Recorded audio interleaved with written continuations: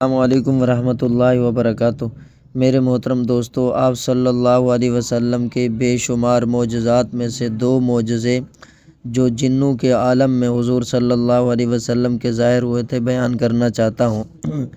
حضرت جابر بن عبداللہ رضی اللہ تعالیٰ عنہ سے روایت ہے کہ وہ ایک مرتبہ حضرت صلی اللہ علیہ وسلم کے ساتھ ایک سفر میں تھے۔ حضرت صلی اللہ علیہ وسلم راستے میں ایک گاؤں کی طرف تشریف لے گئے۔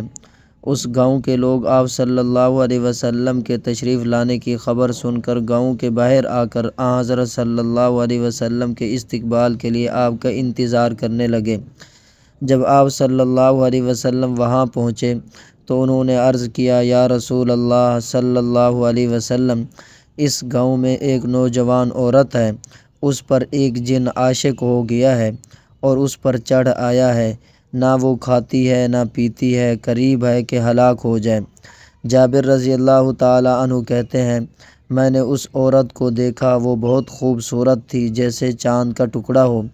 حضرت صلی اللہ علیہ وسلم نے اسے بلا کر فرمایا، اے جن، تو جانتا ہے میں کون ہوں، محمد رسول خدا ہوں، اس کو چھوڑ دے اور چلا جا۔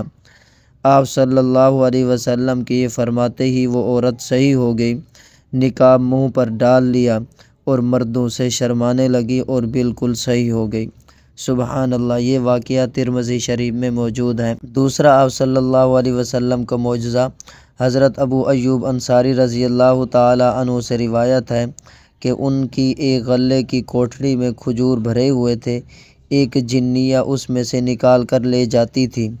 انہوں نے رسول اللہ صلی اللہ علیہ وسلم کی خدمت میں اس کی شکایت کی۔ آپ صلی اللہ علیہ وسلم نے فرمایا، جاؤ اب جب اس کو دیکھو تو یہ کہنا، بسم اللہ عجیبی رسول اللہ۔ یعنی اللہ کا نام لے کر کہتا ہوں کہ رسول اللہ صلی اللہ علیہ وسلم کے بلانے پر چل۔ اس کے بعد انہوں نے اس کو پکڑ لیا۔ پھر اس نے قسم کھائی کہ اب نہ آؤں گی تو اس کو چھوڑ دیا۔ میرے محترم دوستو، یہ آپ صلی اللہ علیہ وسلم کا معجزہ ہے۔ کہ اس کے مومن نہ ہونے کے باوجود صرف آپ صلی اللہ علیہ وسلم کے نام کی برکت کی وجہ سے گرفتار ہو گئی۔ سبحان اللہ۔